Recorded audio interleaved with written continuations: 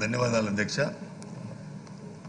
రెండు వేల పద్నాలుగు పంతొమ్మిది మధ్యకాలంలో ఈ అసైన్మెంట్ కమిటీ అనేది లేకుండగానే ఇష్టానుసారంగా ఆన్లైన్ చేసేసేసి చాలా అర్హత ఉన్నటువంటి పేద పేదలకి భూములు ఇవ్వకుండగా చాలా అన్యాయంగా జరిగింది.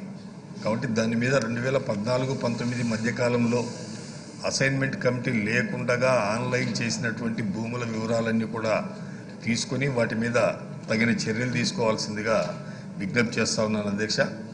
ఎందుకంటే ఇది పేదవారికి అర్హుల అర్హులైన పేదవారికి భూములు ఇవ్వాలనేటువంటి నిబంధన పక్కన పెట్టేసేసి ఇది ఒక రియల్ ఎస్టేట్ వ్యాపారంగా చేసినారు ఆ కాలంలో. చాలా అన్యాయంగా చేసినారు.